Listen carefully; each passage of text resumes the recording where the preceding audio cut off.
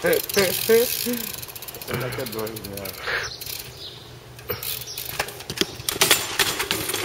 Uma vez.